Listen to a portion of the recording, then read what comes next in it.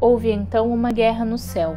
Miguel e seus anjos lutaram contra o dragão, e o dragão e seus anjos revidaram.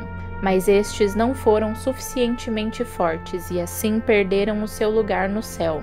O grande dragão foi lançado fora. Ele é a antiga serpente chamada Satã, que engana o mundo todo. Ele e os seus anjos foram lançados à terra. Apocalipse capítulo 12, versículos 7 a 9.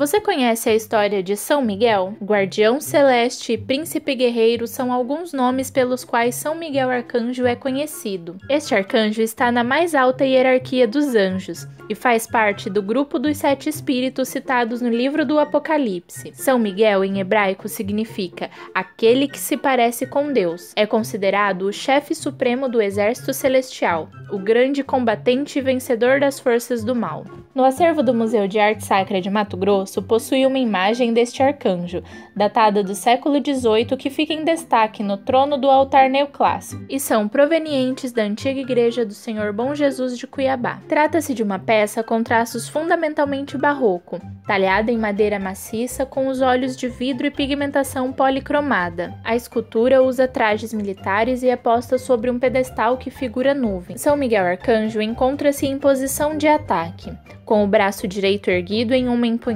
e o esquerdo esticado à frente em defesa, remetendo à imagem no qual o arcanjo perfura o dragão com uma lança, derrotando-o aos seus pés. Este arcanjo é considerado padroeiro dos motoristas de ambulância e paramédicos. E neste momento tão difícil de pandemia, nós da equipe do MAS-MT gostaríamos de homenagear estes profissionais, assim como todos os profissionais da saúde que trabalham sem parar e estão na linha de frente para combater o Covid-19. Com isso, deixamos aqui o nosso profundo agradecimento aos profissionais da saúde e esperamos que com as bênçãos de São Miguel Arcanjos possamos todos sair vitoriosos dessa batalha.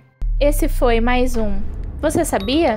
Não se esqueça de deixar o seu like e comentário, se inscrever no nosso canal e seguir o museu em todas as redes sociais. Até a próxima!